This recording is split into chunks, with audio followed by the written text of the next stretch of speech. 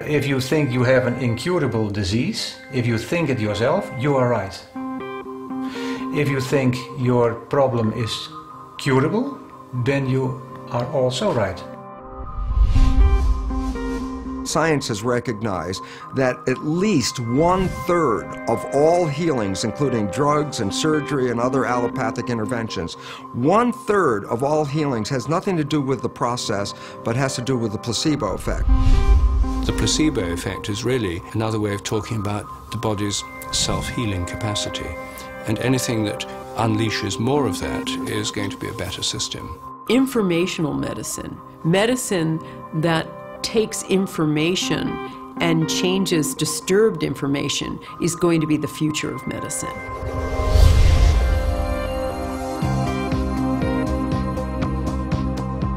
Watch an ice skater. There are things that they can do that are not describable in terms of nerve impulses. We've got this idea about the nervous system being wires in the body with little switches. No, no, no. It's ideational. What is happening is the nervous system is transmitting a holographic message. So maybe 10 years I'd been having these terrible headaches which were getting worse and worse and worse. I was sent for a brain scan and they diagnosed a, a prolactinoma. I had my routine blood test and went to see my specialist to my surprise, my hormone levels were completely normal. And when my doctor saw them, he just went, wow, that's incredible. He said, this can only mean one thing. Your tumor has gone.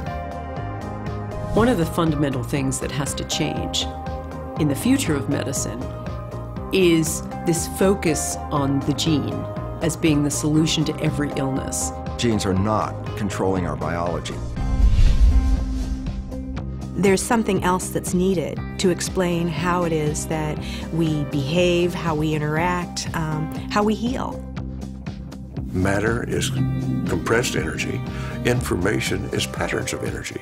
There's an information flow in our bodies. Also die eigentliche Steuerung des gesamten Organismus aller Zellen, die Koordinierung der gesamten Zellen läuft über solche Informationsfelder ab. The heart generates by far the largest rhythmic electromagnetic signal in the body. If you look at the, this magnetic field as a carrier wave, it's being modulated with information. You know, it's time for us to bring these qualities of healing into the mainstream conversation about what is necessary to create an optimal healing system.